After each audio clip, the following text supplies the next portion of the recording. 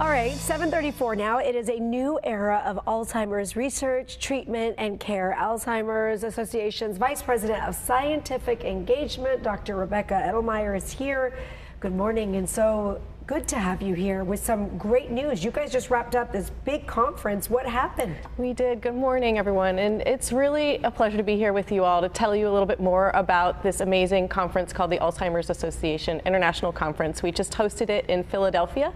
Pennsylvania this year. Okay. We had over 14,000 people participating, both in person and online, and it was uh, a number of scientists from all over the world, over 100 countries were participating. So we talked about new treatments, we talked about new ways to detect and diagnose Alzheimer's disease and other dementia, and even research around care and risk reduction. Was there a big takeaway every time we get like the smartest people in one room together working on things, collaborating? there has to be something amazing that comes out of it. It's an incredible opportunity for us to gather scientific experience and thought from around the world. We really see this meeting as an opportunity to bring thought together and to bring researchers together. I think one of the biggest things that came out of the conference is that the momentum in our disease space is palpable. There are new treatments that are now available and options for patients. There are new ways to detect the disease and diagnose it.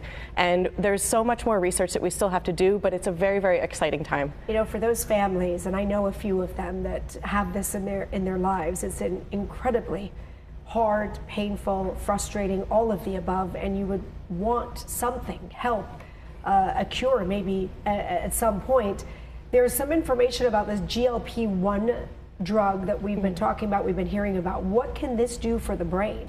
So the GLP-1 drugs are a new approach that we're testing in Alzheimer's disease. These are treatments that are already available today to treat other health conditions like diabetes and obesity, but we're now repurposing them and testing them for Alzheimer's disease. And we saw for the first time some data that were presented that shows that the treatment itself may be able to reduce the amount of shrinkage in the brain and also reduce the amount of cognitive decline. But these are preliminary results. There are other large studies that are testing the GLP-1 drugs that are going to be reporting out in a couple years to better understand whether or not this is truly going to be an approach that we can use. Okay, understanding how wildfires are contributing to dementia, how is that? That's another area of research when we're thinking about risk reduction strategies. So we already know from previously reported research that air pollution potentially increases our risk for developing cognitive decline or dementia.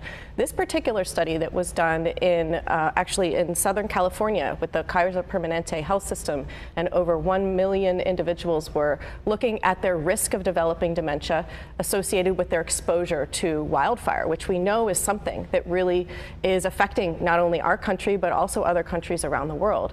And they were able to show that people who were exposed to more wildfire smoke or wildfire type wow. pollution were actually at an increased risk for developing cognitive impairment and cognitive decline. That's the same story when it comes to red meat right? This is another type of thing that we're seeing studied. What types of things should we be um, eating? What types of nutrition should we have in terms of reducing our risk maybe in the future for developing Alzheimer's disease or other types of dementia? We've seen research reported before that ultra processed foods, if you consume too many of those, that may actually increase your risk if you're not consuming heart healthy foods for your body or brain healthy foods for your body. But this year we saw some more research suggesting that there might be an association but by the consumption of red meat mm. and also the amount of risk that you might uh, increase in terms of developing dementia. God, red meat is like so much a part of everyone's uh, diet nowadays.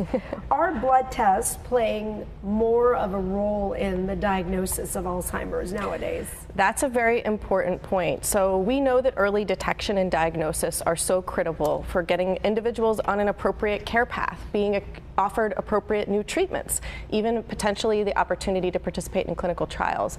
Blood tests are potentially the way that we could have more accessible, low cost, not invasive approaches for helping doctors understand what might be causing your cognitive um, issues. And a blood test is something that's accessible. So we're continuing to see a lot of research presented at our Alzheimer's Association International Conference and in other places suggesting that blood tests may be the future for how we help to diagnose Alzheimer's disease. But there's still more research to come on yeah. that. Leave us with a few words, if you can, about the future and, and Alzheimer's. It's a really, really incredible, exciting time in this field. I think we'll look back at this time and recognize it as a hmm. historic time, truly, in the Alzheimer's and dementia research space.